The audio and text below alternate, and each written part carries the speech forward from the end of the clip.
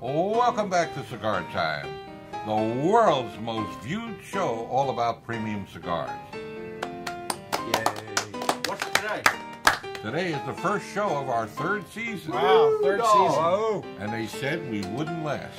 Little did they know. Who said that? The think I people, did. the people, the people in Finland and Norway that Said when we we, first last? started were ahead of us. No, that's our second best market Finland in Norway. and Norway. Mhm. They smoke a lot of herring.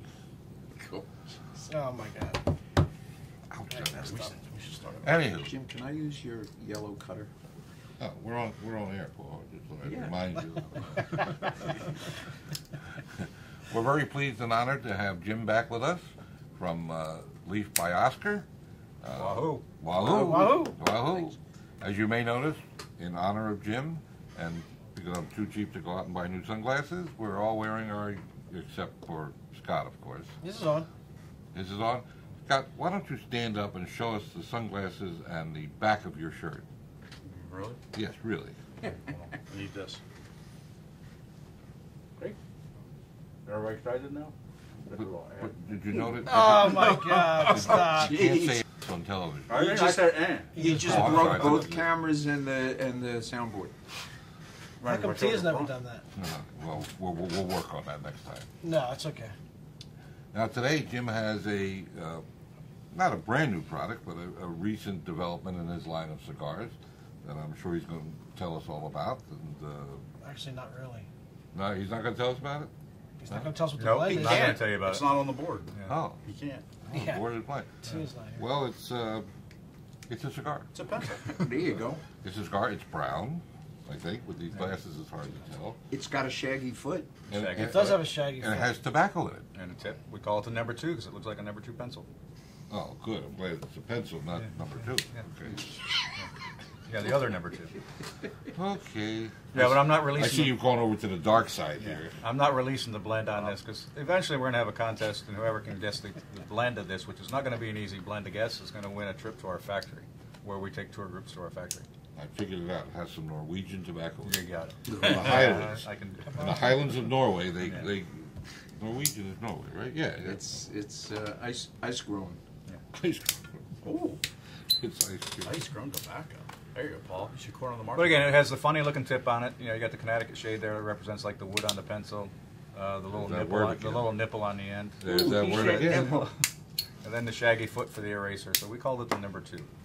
But you cut it somewhere in that Connecticut range, like you would a torpedo. Mhm. If you don't cut it, it's going to be a little bit of a tighter draw because it's designed to be cut, even though it is open.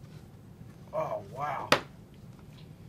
I'm getting a real chocolatey taste. This is at a the beginning. big big blast of flavor. Yeah. Yep. Right As soon as you bat. light it.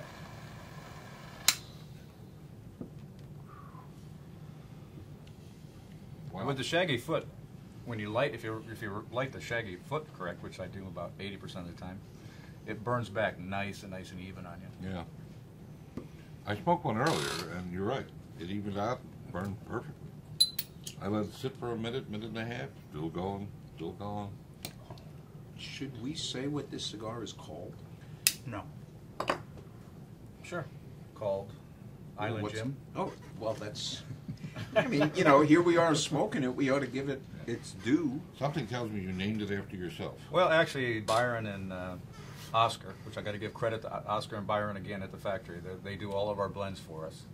Um, they, they they surprised me with this. With, with all the work that I do with Byron about telling him what, what I like flavor wise in a cigar, he made this cigar. And originally, it was just a cigar that he made for me that we kept in a box, no bands, no labels, no nothing. That when I go to the factory, this is what I would smoke. Was was this cigar? And then one day I went down and they had these bands made up and put it on and we started selling it. But it was really this this cigar was made for my taste. If you all like it, great. If you don't, I'm gonna still smoke it. There you go. Me too.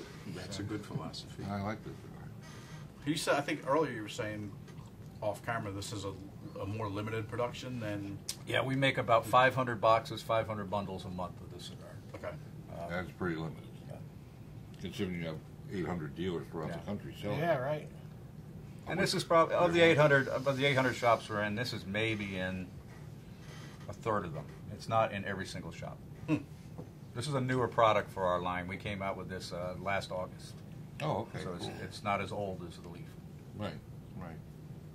That's pretty And good. who's this guy on the band? Yeah, Yeah, that, it's a close resemblance to me. Oh, okay. On a bad night, right? S- Somebody once suggested to me that I make a cigar with my face on the band. I wouldn't recommend. Really? You- Well, my answer was I want to sell it. Yeah. Yeah, that, that would severely crimp the sales. Well, if you grew a beard, Well, I don't- with I don't look sunglasses like and wore you. a hat. might No, work. uh, well, I'm not as photogenic as I am. Well, it surprises me that people buy this, that they want to put me on their lips. I really. See, now I want to put the cigar down. yeah, Yeah, just my- ruined it. I got I got to throw a plug out to my assistant because uh, she actually manages my life at home and my life at the shop. She's my one of my shop managers. Um, and in an interview I did a couple months ago, I, I referred to her as my assistant. Ooh, Ah, did I um, catch hell? the boy, Yeah. Oh, I big caught all mistake. kinds of hell. Is that so, Melanie? That's Melody. Ugh. Oh yeah. So she made sure if I mentioned her on the show today that I did not call her my assistant. Oh. So here's to you, assistant. Here's to you. Well, she's actually how we, we got a hold of you. Yeah. So I was out there and loved the stuff, so, She does a fantastic job for me. yeah. Yeah, then John came in and bing, bing, bing. Here we are. Didn't take, I was, I, I gotta tell you, I was nervous at first. It's like, ah, yes, I really liked it. It- I mean, it's got a lot of great appeal. liked The, the, we're, I'm specifically talking about the, the leaf. And, uh, we brought it in. I'm like, man, I really hope they like it. And then, then you guys went nuts over the cigar. Yeah. So, I mean, the first, the first one I smoked was the, Mo- the, the Maduro, and I liked it from the first, you know, first practically the first pop. Are there any new products on the horizon for you? Um, well, we have a cigar out that's uh, another limited production called the Big Johnny, which is a 66 by 8 of That's the leaf Johnny. of the That is leaf Maduro. cigar. Uh, and I made that primarily for one of my customers. His name was John. That came in and smoked the big cigars every day. So I said, I'm going to make you a big cigar.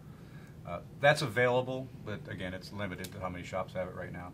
And we're working on a Lancero program, Uh, uh, which will probably be out sometime late this fall. And it'll be the Lancero of all four blends of the leaf. ah, And it's going to be a limited program. I'm going to, we're going to start it out for the first year. It's only going to be available to one shop per state, with the exception of Pennsylvania. It'll be two shops because I have a shop in Pennsylvania.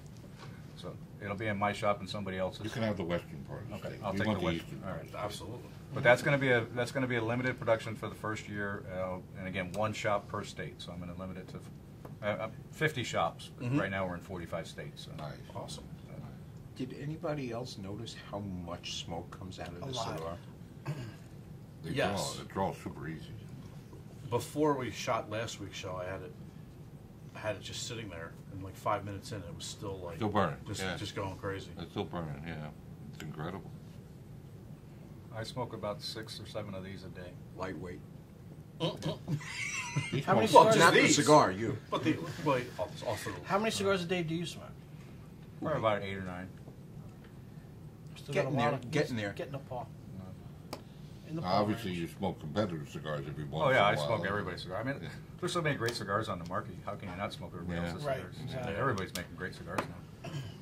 Yeah, they have to because it's it's a it's a buyer's market. It, it's it's the customer's time. It's the smoker's time right now. You got some really really great product at reasonable prices, and it's a good time to be a smoker. Uh, subject to the FDA and the government interference, uh, and you know Cuba is now you know rapidly coming on board. Although you will not see cigars, in my opinion, for several years at the earliest because of various problems. Uh, it's a great time to be a cigar smoker. You know, I'm- The range of leaf and the palette that a blender can work with Yeah. these days is better, I think, than it's ever been. Mm. There's Well, they just never in the more varieties. And Yeah, they never blended that many different countries, top of the line tobacco. Now they do, and it, it is incredible. And I think what you might see first, instead of boxes of Cuban cigars, you might see, you know, a blend of Cuban and Nicaraguan and Honduran. You may some hybrid blends that, that probably will be extraordinarily good. Uh, but man, it's a good. I'm telling you, I really feel strong about it. It's a good time to be a smoker. So if you're not smoking cigars yet, I don't know why you're watching this show, but if you're not, if you're not smoking cigars yet, it's a great time Well, to somebody start. might be out there with their husband. He might not smoke. That's true. Rattle his cage a little bit and get him smoking. Exactly. And again, these cigars are available at all 10 Cigar Cigar stores, but as I always say, if there's not one of our stores close by you, please support your local tobacconist uh, who provides you, especially now coming into the fall and winter, with a place to smoke when you can't find any other place to smoke, and provide usually we like our store provide free internet, free uh, coffee, and and great conversation, and a lot of business is done in our lounges, and a lot of new friends are made, and it's amazing the friends you can make over a cigar. Oh, absolutely. I mean, it- it's just uh, the camaraderie and the fellowship is just just amazing. And I, Brotherhood of the Leaf. yeah, brotherhood of the leaf. And know, when you have your contest with a cigar, you should just like only that person will know. Not like release it to the world. It'll almost be like Carly Simon and You're So Vain, or only Howard Stern knows who that song's about. No. So then I never have to release the blend? There Right. you go. Just tell the person you're right, You and could- that's it. Yeah, Yeah. yeah. you can anoint the winner and Yeah. still keep the secret. Right. There you go. I have a question, Jim. Where did you come up with your passion for cigars? good question. Um, I, I, did, I didn't smoke my first cigar till about 15 years ago. Really? Uh, I used to be a cigarette smoker, and I was smoking three packs a day of cigarettes, and I quit smoking cigarettes for about two years, and then I was driving across country, and you know when I drive is when I want to smoke, at least when I was smoking cigarettes, Right. and I still now I do that with cigars. Uh, when I was driving from uh, Palm Beach, Florida to San Antonio, Texas, I made it as far That's as nice drive. I made it as far as New Orleans, and I said, I'm going to stop and buy a pack of cigarettes. Well, before I stopped, I went to Bourbon Street, and I found down near Bourbon Street, I found the new the uh, New Orleans Cigar Factory. Right. Yeah. So I walked in there, and I bought my first cigar at New Orleans Cigar Factory, and I actually bought five of them, and they lasted me to San Antonio. Wow. And from that point, I was hooked on cigars. Well, you never went back to cigarettes. Never went back. to Never good, smoked good. cigarette. Can't even stand the smell of cigarettes. Good. Good Oh. for Nice. you. Good for you. And Melody smokes cigarettes. Oh, Where um, why did you or yeah, why did you decide to, to make your own brand? I was told years ago when I opened my cigar shop, and it took me almost eight years to do it, that to uh, a retail shop can make a lot more money in margins if they have their own house brand Right. cigar. Right. And it took me eight years to come up with a house brand. I tried a couple different ones from different companies that they would send me samples, uh, but I think they were generic samples. Yeah, I never right. found Yeah. one that I really liked, and that's why when I come up with Oscar, uh, I mean I met Oscar through uh, Rocky Patel because he used to work for him, and when Oscar opened his own factory, I said I want you to make me a house cigar, and that's how I made my very first cigar was with Oscar, which is the leaf cigar. The one we smoked last week. yeah, that was the leaf, the one we had last week. Cool. I noticed when you first came into the studio last week, you were carrying around this gigantic cigar. That's a that's an event cigar that we do. Oh, okay. Would you like to smoke one? Yeah, I just happen to have it. If you have it handy, maybe I you could- could show I it. it. You know, I bet I can't smoke 12 a day of that. Do you need somebody to spot you when you like that? Yeah. we, we, we you, this one I've tried to smoke when I'm driving, but it keeps banging into the windshield. um, Use the but lock it's your car it's it's an event cigar that we make, and I usually bring a couple to every event, and we raffle them off. So Oh, we'll have cool. some we'll have some there this week when we get to the events. Uh, Smoking, comes in this. smoking that is an event. This is one cigar. Yeah, no kidding. Good for a long ash contest. and we call it Oscar's Woody. Now, I'm not, I'm not touching that. Good thing. Oscar didn't know what Woody meant when when Oscar me. when Oscar made this cigar, he put a band on it, which is our same band we put on the uh, Leaf, the yeah. leaf, which is the top part of that band. Oh, that's. Where'd you find cellophane? We can- Well, it's, it's actually it's it's a whole sheet of cellophane. It's not like a sleeve. It's like. Um, but Oscar put this band on it, and about two days before I introduced the cigar for an event, I said, "Oscar, I want to, you know, have it. Did you put a band on it already?" He says, "Yeah." It's all right. Well, it's big enough. Put a second band and call it the Woody. And Oscar, Oscar's Spanish. He doesn't know what Woody means. So, and he ca- actually came up for this event, which was back in May. It was the uh, Blow and Smoke uh, bus crawl in Pittsburgh, and I gave one of these to everybody on the bus. There was like Oh. 55 people on the bus, Wow. and Oscar found out what Woody meant that day. 'Cause everybody wanted to play with Oscar's Woody. Everybody was excited to see him. Yeah. I, I don't think you need to describe to the folks at home what a woody is. Yeah. No. But it's about an 85 ring gauge by 21 inches. Uh, I've had some people smoke it and they said it takes anywhere from six to eight hours. I believe that. Wow.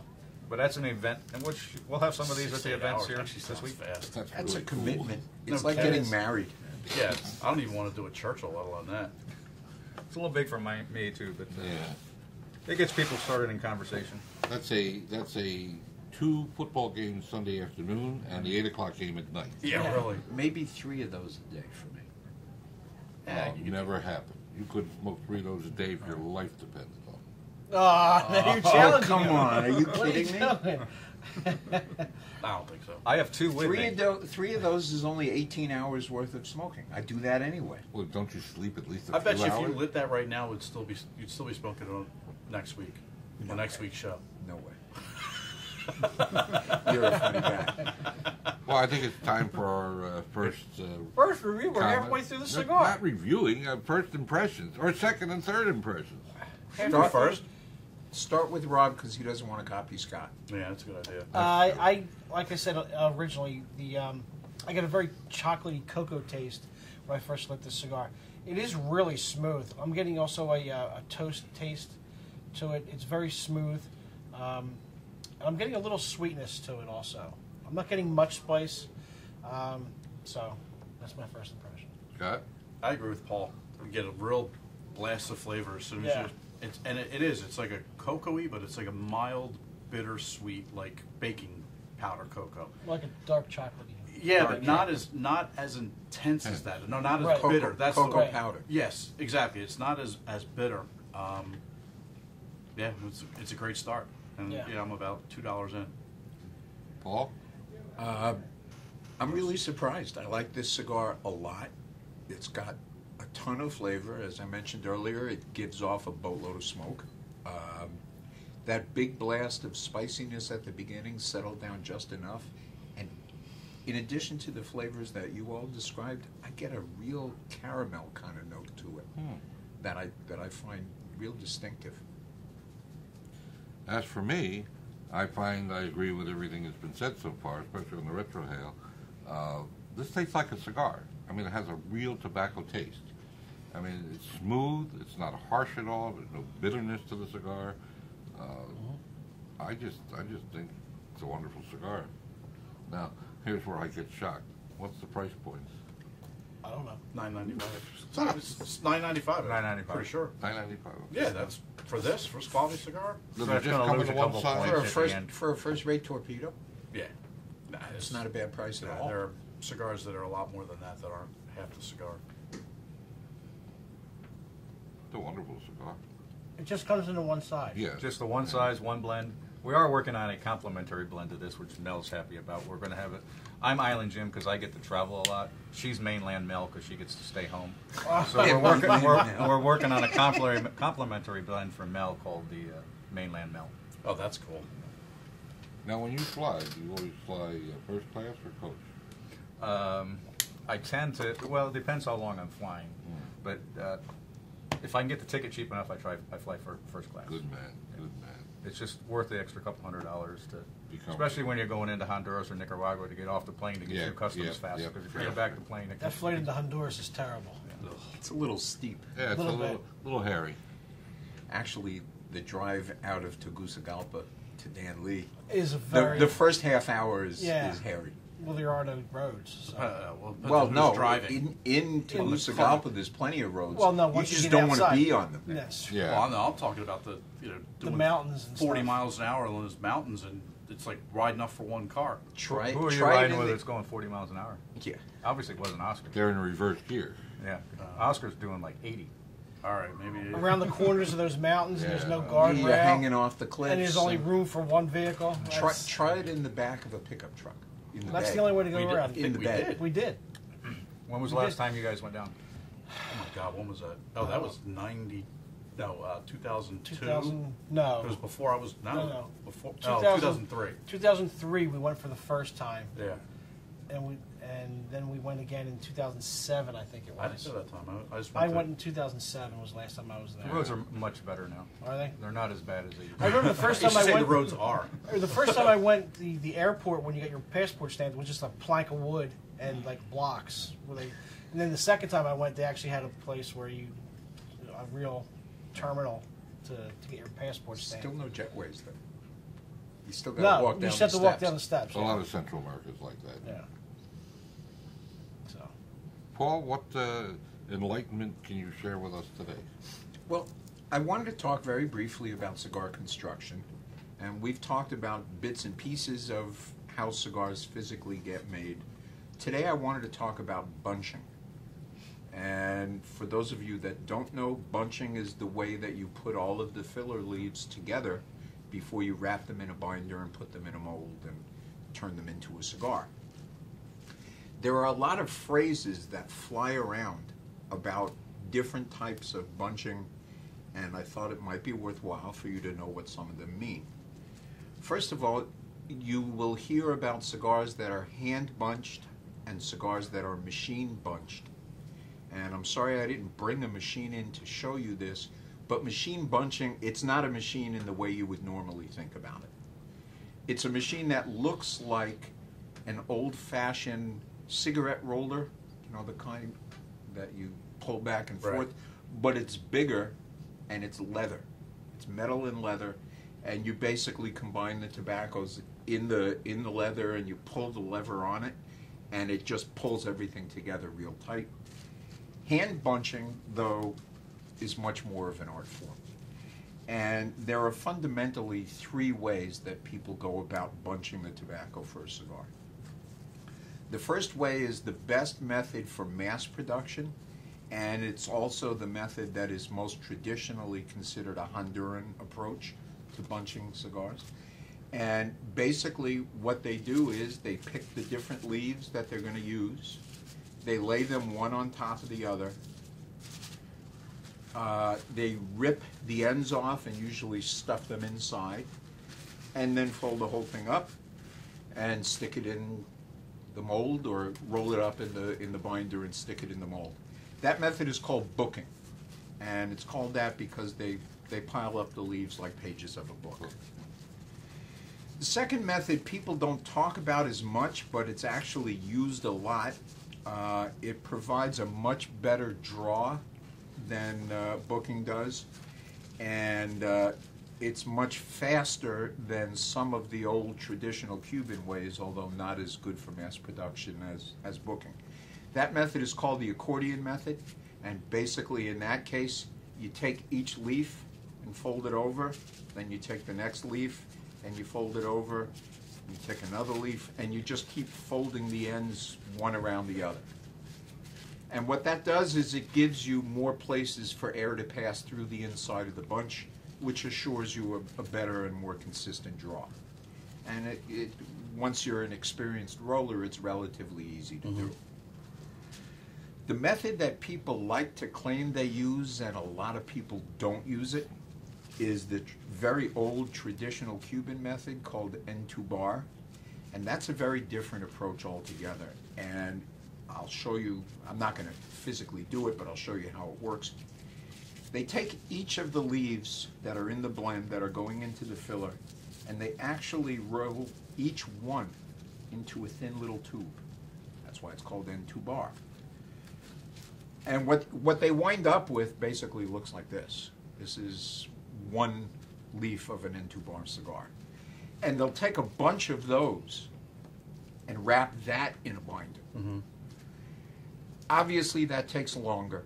Obviously, you have to be very skilled to do that effectively, but the result of this is an absolutely perfect draw when it's done right because each leaf is a tube. Each leaf allows air to pass through mm-hmm. on its own, and it burns better that way, and the flavors combine more easily that way.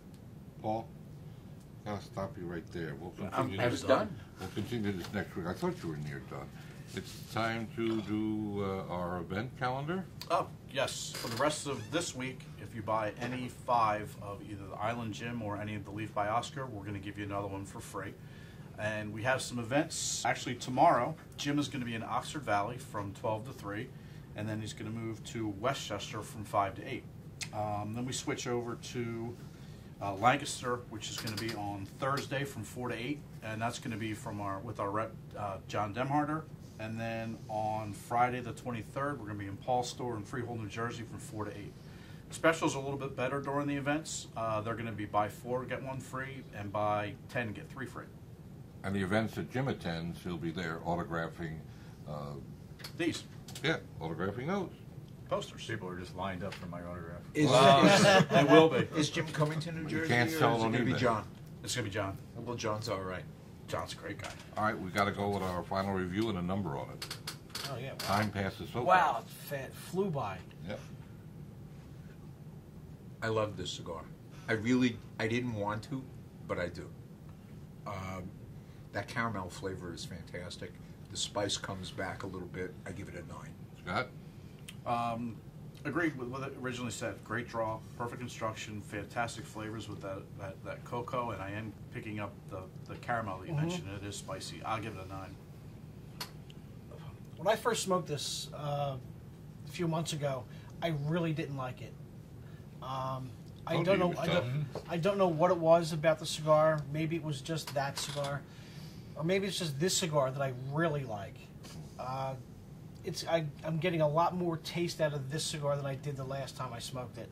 I'm getting all that caramel taste, the cocoa taste, uh, the sweetness of it, and and a little bit of little bit of pepper, but not much, but a little bit of pepper. Um, I think it's fantastic. I give it a nine two five. Great. Uh, I can't improve on what the panelists have said. Uh, I give it a 9252. It's uh, it's not as strong as I thought it would be, which is good for me because I, as I've gotten older, I like little little bit more meat, mild cigars. Uh, but it has a whole lot of taste, easy draw. It's a fantastic cigar. It, is, it really is. Well, as our time is drawing uh, to an end, unfortunately, as always, uh, we want to thank Jim. Yeah, thanks much. for coming in, Jim. you. Thank you Thank very you. much.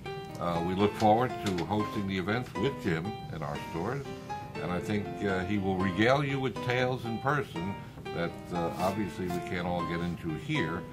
Uh, it'll be an interesting time for you to come meet Jim and smoke his cigars. But once again, we thank you for watching, thank you for your business, and we'll see you next week. Ciao for now, Bye-bye. everybody. Wahoo! It's Wow. cheap to smoke s- short cigars. Thank you. Works perfect. Thanks, guys. I notice you're wearing Scott's glasses. I am. No, Scott's wearing I'm, Scott's glasses. I'm wearing my glasses. You're bass backwards. What else is new? Should get a marker and draw a mouth on the back of his. Yeah, right. Thought about it. Have him sit in the chair And backwards. those. I'm gonna make you His shirt's stand all up. backwards. I'm gonna make you stand up and show them the back of your shirt, I which is really the front of your shirt. Okay. I'm proud I of dare mine. you. I dare you. Wow. You dare me? oh, don't That's a me. mistake. This is Glynn Loope, Executive Director at Cigar Rights of America, a grassroots movement designed and in existence to defend your ability to enjoy premium handmade cigars. But Like no other time in history, this passion of ours is under attack. It's under attack in your city hall, in your state capitol, and in the halls of Congress of Washington, D.C. Right now, the Food and Drug Administration is proposing to regulate this passion that we all share like never before in history. 241 pages of regulations designed to cripple this industry. From your ability as a consumer to enjoy a free sample, to being able to go into your local brick and mortar and enjoy cigars and camaraderie with your friends, or even to enjoy a major cigar event across this land, all would come under threat. All would come under threat with these regulations. Go to cigarrights.org. Join today, join this grassroots movement, be a part of the process, become a cigar voter. Thank you.